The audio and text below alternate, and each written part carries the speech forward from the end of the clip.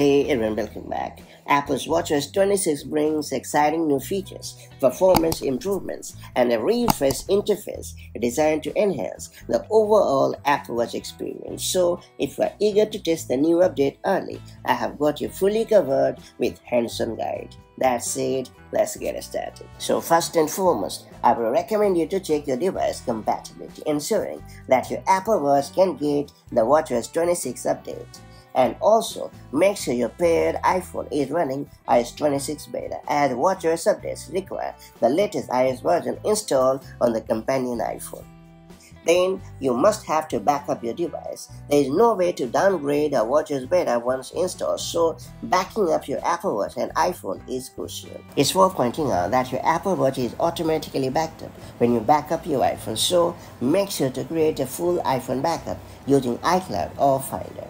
To install the beta, you must be enrolled in either the Apple Developer Program or the Apple Beta Software Program for public beta testing. Then you have to sign in with your Apple ID on your iPhone to link your device to the beta program. And once you have taken care of all the basics, you have to open the Watch app on your connected iPhone. And then you have to tap General. After that, you have to choose Software Update. Then you have to choose Beta Updates. After that, you have to select WatchOS 26 Beta and once selected, your Apple Watch will be set to receive beta updates. Then you have to make sure to stay connected to Wi-Fi and keep your Apple Watch on its charger. Your iPhone will display the available WatchOS 26 beta update. Then you have to tap on download and install option.